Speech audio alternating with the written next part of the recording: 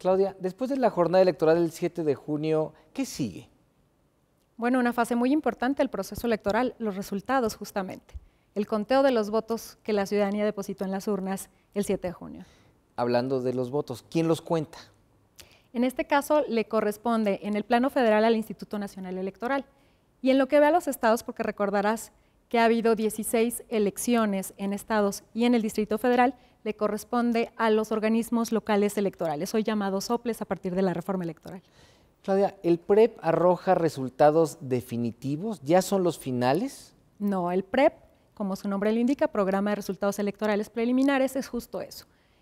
Arroja resultados preliminares, es un primer conteo, nos da un muestreo objetivo de cuáles son las tendencias de voto, sin embargo no es el resultado definitivo. El resultado definitivo se da a partir justamente de esta jornada que va a iniciar este miércoles 10 de junio, por los organismos electorales federales y locales, que se, que se trata justamente del cómputo de los votos, de contar las boletas.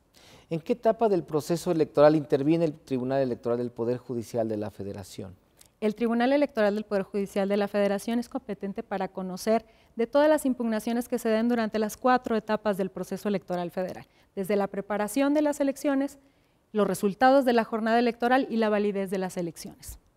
¿Las salas regionales del tribunal intervienen como instancia última en las impugnaciones, posibles impugnaciones que se den en este proceso?